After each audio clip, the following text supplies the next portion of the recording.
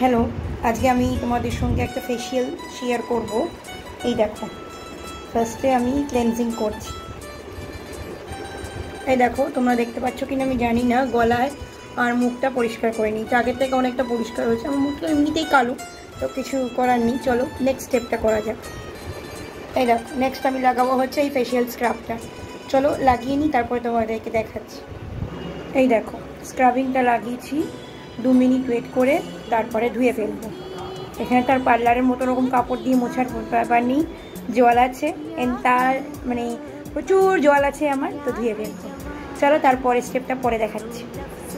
দেখো স্ক্রাবার লাগিয়ে নিয়েছি অনেক গ্লো হচ্ছে এবার লাগাবো এই ম্যাসেজ ক্রিমটা এটা হলো ম্যাসাজ ক্রিম এটা লাগিয়ে দু মিনিট পর মুছে ফেলব। এই দেখো ম্যাসাজ ক্রিমটা লাগিয়ে কি সুন্দর চকচক করছে। দেখো, এখানে জল গরম হচ্ছে। জলটা গরম হয়ে গেলে আমি স্টিম নিই। আমার এখানে তো তো পার্লারের মতো ফ্যাসিলিটি নেই।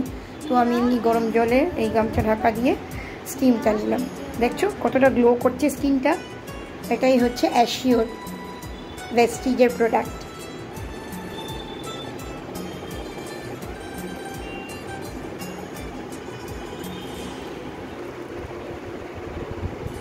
দেখো ফেস প্যাকটা লাগিয়ে কতটা গ্লো করছে। আমি এখানে আয়নার সামনে অন্ধকারে দাঁড়িয়ে আছি বলে আমি নিজে দেখতে পাচ্ছি না, কিন্তু কতটা গ্লো করছে।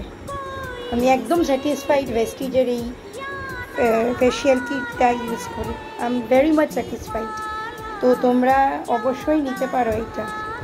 খুবই ইফেক্টিভ ওয়ান টাইম ইউজের জন্য খুব খুব খুব ইফেক্টিভ যে কোনো অকেশনে তোমরা এটা দিয়ে ফেসিয়াল করে নিতে পারবে। বেশি দাম না, কম খরচা হয়ে যায়। পার্লারে ওই হাজার হাজার টাকা খরচা করার কোনো দরকার নেই।